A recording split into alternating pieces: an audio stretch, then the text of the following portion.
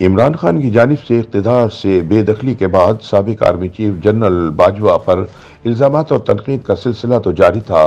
ताहम अब सबक डी जी मिलिट्री ऑपरेशन और corps commander Bahawalpur general Haroon Aslam ने भी जनरल बाजवा के खिलाफ खुलकर तनकीद शुरू कर दी है। जनरल हारून असलम ने जनरल बाजवा की जानब से वाशिगाफ अल्फाज में सियासत में मुदाखलत से तोबा करने और अपने आइनी किरदार तक महदूद रहने के दावे को बेएतबार करार दे दिया।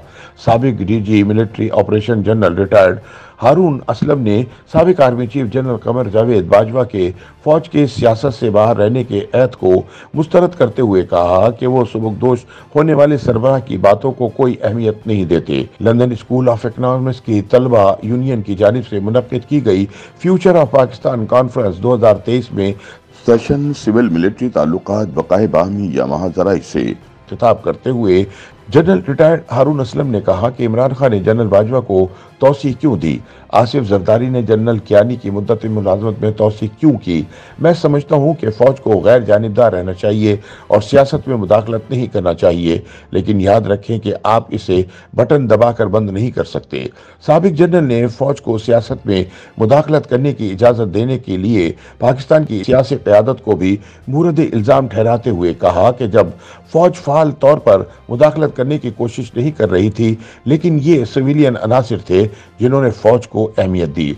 जब उनसे जनरल रिटायर्ड बाजवा के अलविदाई खिताब में फौज की गैर जानबदारी के अहद की तवील मुद्दती अमल दरामद होने के बारे में पूछा गया तो जनरल हारून असलम ने बड़े वाज अंदाज में कहा कि मुझे इस पर कोई यकीन नहीं है।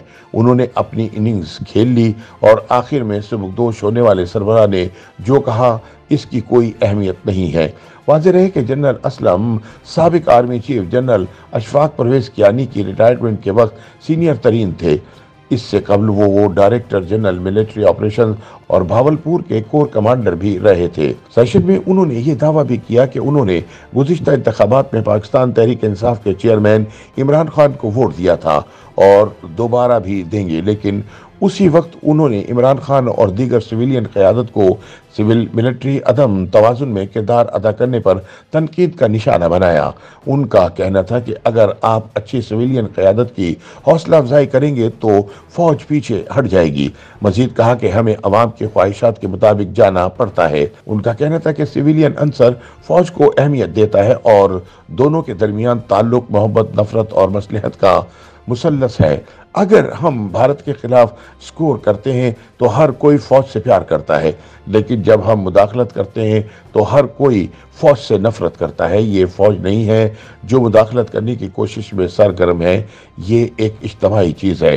दूसरी जानब वुड्रो विल्सन सेंटर के स्कॉलर माइकल कोगलमैन सिविलियन क्यादत के दिफा में। सामने आए और कहा कि इस्लामाबाद जाने वाली तमाम सड़कें रावलपिंडी से जाती हैं।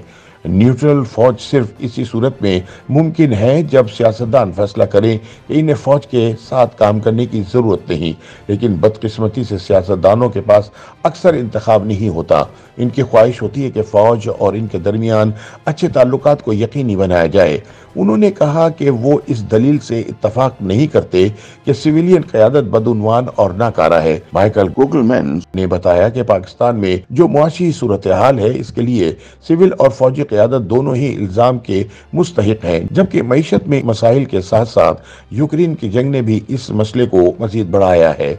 इस मौके पर जनरल हारून असलम ने बताया कि वो फौज के इकतदार में आने की हिमायत नहीं करते, लेकिन बहरान के सिर्फ़ फौज की जिम्मेदार होने की मुखालफत करते हुए कहा कि ये इज्तमाही ज़िम्मेदारी और इज्तमाही नाकामी है।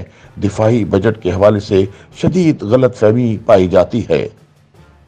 YouTube पर गूगली न्यूज़ देखने के लिए YouTube.com की सर्च बार में गूगली न्यूज़ टीवी टाइप करें। गूगली न्यूज़ के पेज पर सुर्ख रंग के सब्सक्रिप्शन वाले बटन पर क्लिक करना ना भूलिए। YouTube पेज पर अपलोड होने वाली वीडियो से बाखबर रहने के लिए बेल आइकन पर क्लिक कीजिए। आपको हर नई वीडियो के बारे में नोटिफिकेशन मौसू हो जाएगा।